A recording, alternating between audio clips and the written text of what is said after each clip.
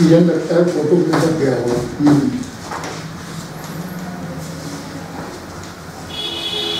May I come in, sir? Yes, please.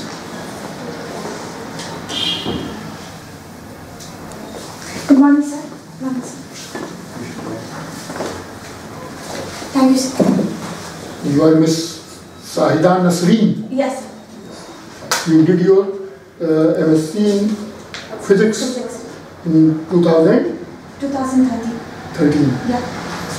Are you employed somewhere or are you doing No, some? sir, I'm just preparing.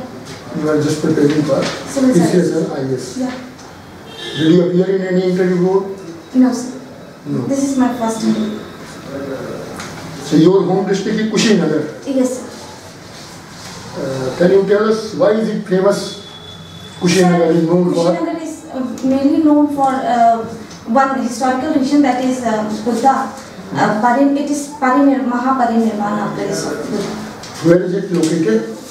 Sorry, sir. Kushinagar is located near nearby districts. Yeah, nearby district. Sir, um, it is uh, it is under uh, administrative zone of Gorakhpur, and uh, nearby districts are uh, Deoria, Padrauna, and uh, Bihar is also. Have you read today's newspaper? Uh, yes, sir, a little bit because I was under. So what are the main news? Sir, today it was an exit poll in the newspaper, and another news was uh, related to Gram Nyayalaya. The Supreme Court has, and this a court has come out with a judgment that uh, 2000 Act of Gram Nyayalaya is not being implemented in a number of states.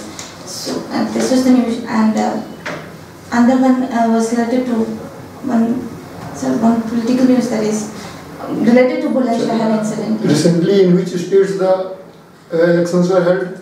Sir, uh, in states of Rajasthan, Madhya Pradesh, Chhattisgarh, Mizoram and Telangana. Telangana. Yeah. Who is the chief minister of Telangana at present? Sir, at present no one is chief minister. No, Uh, he must be acting chief minister. Yeah, he is acting chief minister. Uh, Chand- Chandrasekhar Rao. Chandrasekhar Rao. And who is the chief minister of Andhra Pradesh? Uh, Mr. N. Chandrababu Naidu. Chandrababu Naidu.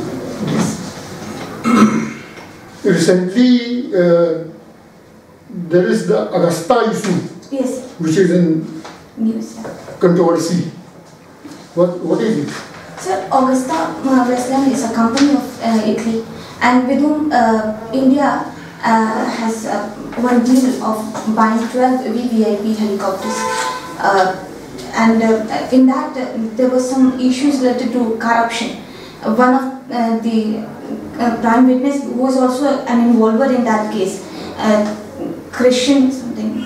Christian, what is full name? Michel. Michel, yes, sorry. Uh, it's Christian Michel was uh, actually he was involved. He, he was one of the middleman who was there in the uh, deal, and uh, he's actually he's considered to be the main witness in the case, and therefore um, he's uh, yesterday he was extradited from uh, UAE to India. From which country? So from UAE, UAE? yeah.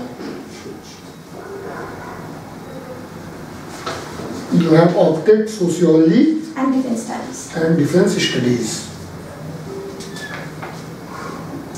Can you make a difference between culture and civilization? Yes, sir. So culture is just a way of living, and civilization is, uh, we can say, it's a better way of living.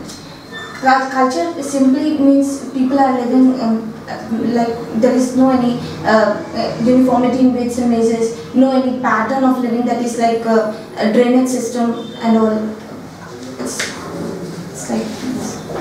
So which one is more important, culture or civilization? So civilization, I think, is more important.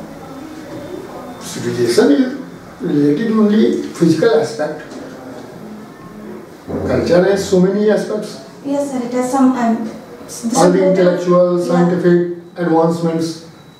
Hmm? Sir, culture is actually Art. related to all these things, but um, it's, it's, it is civilization which make life more comfortable and in a more, uh, we can say, arranged manner, we can say. It's, that's it. And that's all. There is a word malculturalization. What is the distinction between culturalization and malculturalization? First of all, what is culturalization? In Hindi, Sanskritization. Sanskritization. So Sanskritization simply means, uh, so it is uh, first of all given in sociology uh, by uh, M.S. Srinivas. And uh, he come up with the conclusion that even in the closed system of stratification, caste, there is some scope of mobility. And he come up with a conclusion by uh, studying the Coorgs of Mysore. Uh, he said that uh, uh, if uh, uh, uh, Sanskritization is just a process in which mm, lower caste category actually start acquiring the lifestyle of um, dominant group or of a particular nation and in that way they start uh, leaving their defiling activities which um, with which they used to engage with and they started living a cultural way of life that is being followed by the dominant group this is what we call as sanskritization You have opted uh, defense studies also. yes sir. Okay. Who is the president of Nepal? mr kp sharma oli President of Nepal. President, sorry, I'm sorry, sir. Uh, Vidya Devi, Mrs. Vidya Devi Bhandari. Miss Mrs. I'm not sure about. What is difference between fundamental rights and fundamental duties? Sir, fundamental rights are those rights which are actually fundamental to the government governance of a country. Uh, it prevents a state from becoming authoritarian or totalitarian. Thus, it is some. It are, these, these are the some human rights which have been taken and taken out from those Universal Declaration of Human Rights and are put, as put as as uh, right basic rights of the people, which are actually important for overall development of uh, any individual. And the fundamental duties are just uh, duties which are um, actually which are actually moral obligation of uh, the people of a country to abide by all the national ideals and to abide by all those which are written over there. But it, but uh, so one major difference is fundamental right is our rights are justiciable, but uh, fundamental duties are not justiciable. They cannot be forced enforced by uh, any law by making any law. What is Nai Roshni? Nai Roshni sir. It's a, um, mm, it's a scheme for uh, leadership development. Uh, Nai Roshni sir. Nai Roshni Nai Roshni. and Nai Manzil. Sir, Nai Manzil is, Nai Roshni scheme uh, is actually associated with uh, uh, mm, developing leadership qualities among uh, women of, so if not, not mistaken. Sir, Nai Manzil is, uh, can I go to? So Nai Manzil is a program that is started by uh, mm, mm, Minister of Minority Affairs for actually for bringing in those dropout students between 17 to 35 years of age into the education stream and uh, and providing them with a skill so that they can um, act- uh, so that to improve their employability and uh, bring down radicalization is another aspect. What is mandamus? Mandamus. So it's a kind of uh, that is, um, is that uh, the court, High Court and Supreme Court is authorized to come out with. If uh, um, if it's a kind of command, sir, which is uh, being given to the offices or authorities which are not actually performing their duties in a, in a good manner, or which, which are not uh, actually uh, not actually uh, uh, helping the people in. Uh, during the violation of their fundamental rights. Is Suri Kathisar, it's an uh, access and military exercise between India and uh, Nepal.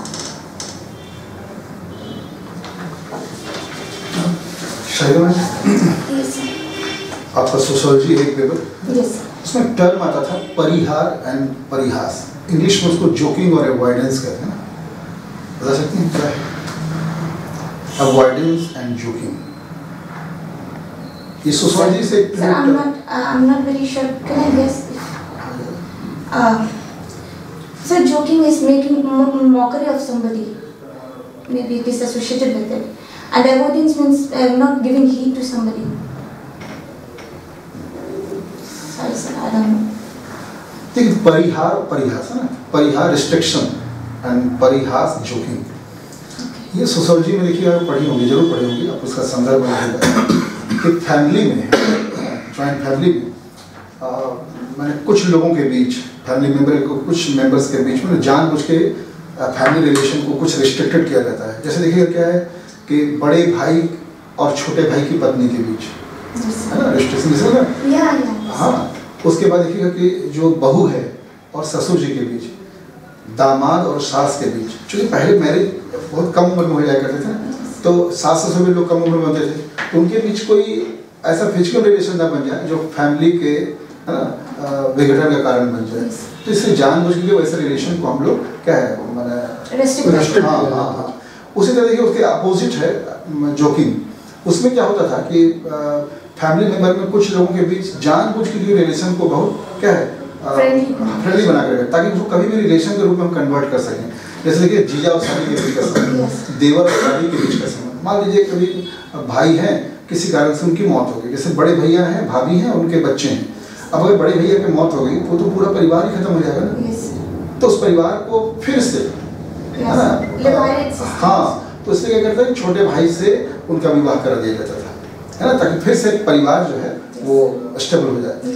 तो इसको जानबूझ के बनाए रखने के लिए देवर भाभी के बीच के संबंध को बहुत अच्छा बनाया उसी तरह जीजा और साली के बीच का संबंध को भी ऐसे ही बना कर रखा गया उस से रिलेटेड है जोकिंग और मतलब जॉइंट फैमिली सिस्टम को स्ट्रेंथन करने के लिए बिल्कुल बिल्कुल। ये हाँ, हाँ, है। जिससे जॉइंट सिस्टम क्योंकि सर हमारे इंडियन सोसाइटी में ना फैमिली को स्पेशल क्या हाँ। पेट्रोनाइज किया गया है। कि चाहे जैसे भी हो परिवार न टूटे इवन कि देखिए लोग तलाक लेने जाते हैं पहले कोर्ट भी प्रयास करता है कि ना हाँ। परिवार जो है अक्षुण रहे म्यूचुअल जो है हाँ बिल्कुल करके और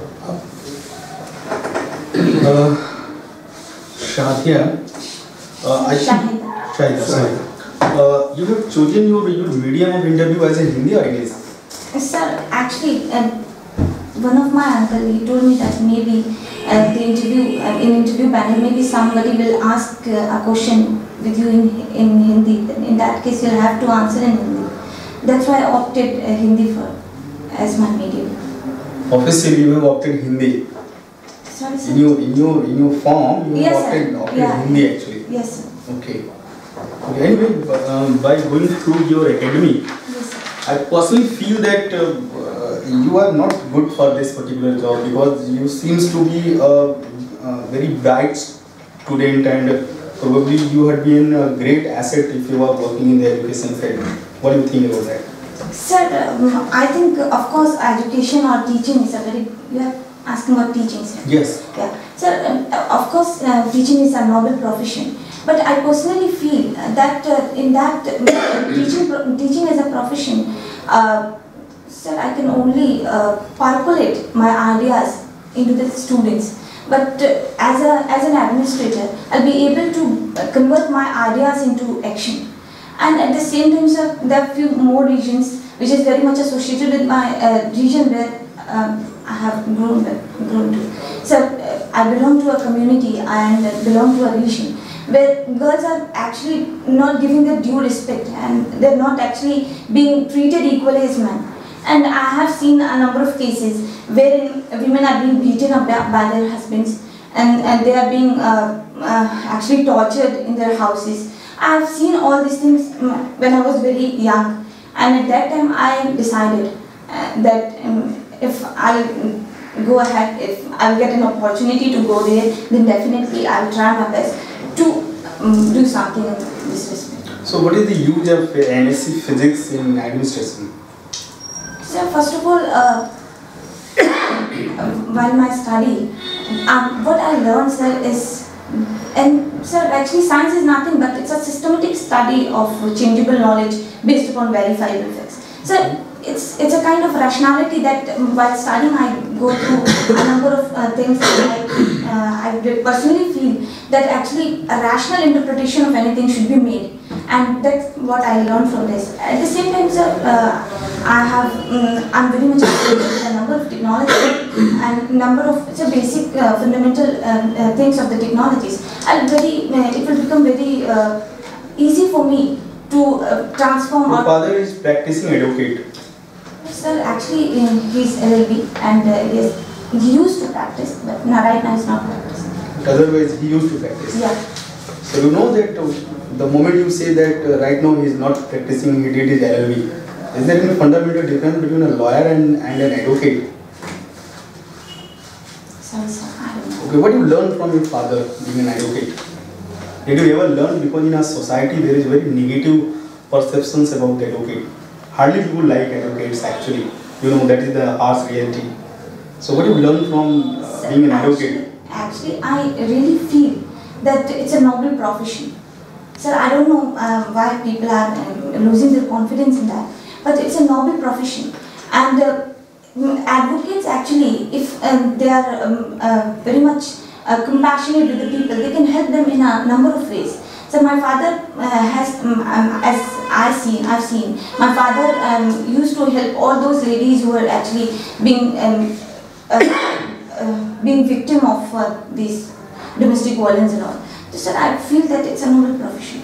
Okay, when you mentioned about your mother that uh, she is a domestic engineer. Yes. In fact, in my whole uh, uh, career, dealing with the, these uh, professional training, uh, extending from Lucknow, Allahabad, and all these places, I came first time that you mentioned your mother as a Engineer. domestic engineer. Yes. Mostly, I, I go through that uh, there is a housemaker, housewife, and all these things. So- Sir, uh, it's uh, actually there's a reason behind it. I wanted to uh, give a very special uh, respect and very. Uh, I I actually feel, sir, that whatever my mother is doing, it's really very worth, worthful, and that's why she said it's only because of her I'm able to um, be here. So I think she's the only uh, woman. Uh, she's whatever she's doing is nothing less than. But an how you justify that she engineer? Engineer, you are using the word engineer. What is specific functions he is doing in family? Sir, actually, engineers actually said they, uh, sir, this.